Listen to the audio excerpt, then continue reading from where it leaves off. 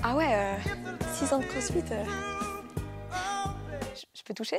Ça t'est déjà arrivé, après deux mois de DM intensif, que ton crush soit là sur ton canapé et il se mord la lèvre. Mais toi, tu paniques parce que tu sais pas si ça veut dire que tu peux l'embrasser ou si c'est juste euh, mordu la lèvre en mangeant une chips. T'inquiète pas, je vais tout t'expliquer.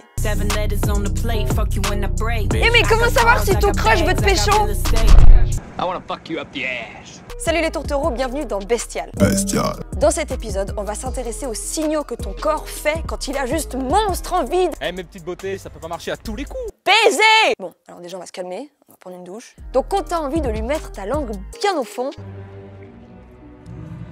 avant, tu peux observer ses lèvres. Quand on est en phase de séduction, les lèvres ont tendance à gonfler et à rougir pour être plus sensibles au contact des autres peaux. Ça va les rendre plus voyantes et ça c'est très attirant. D'ailleurs, une étude américaine montre que des hommes trouvent plus séduisant des femmes avec des grosses lèvres.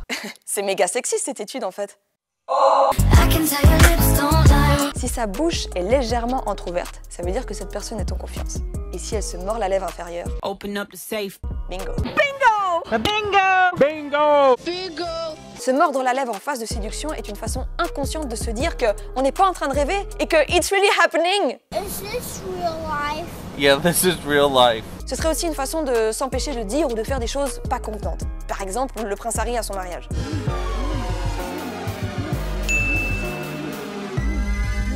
Bah ouais.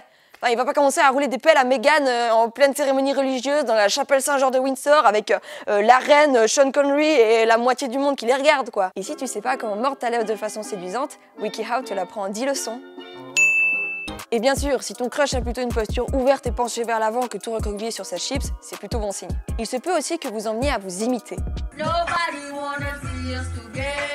On l'a tous déjà vécu, genre vous prenez votre verre en même temps, vous riez de façon pas du tout naturelle en même temps, vous touchez les cheveux en même temps.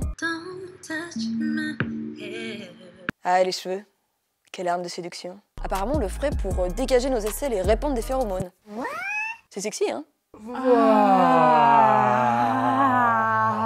Mais bon, je te rappelle que des aisselles à l'air et des yeux exposés sur ton canapé ne remplaceront jamais un vrai et audible oui. Yes! Yes!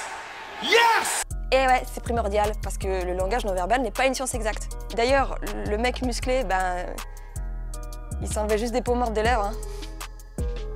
J'ai pas baisé. Et toi? C'est quoi ton meilleur truc de drague? Say, pussy in your face, that'll put you in your place. Voilà, c'est la fin de cette vidéo. Si t'as kiffé, n'hésite pas à la partager et abonne-toi. On se revoit très bientôt.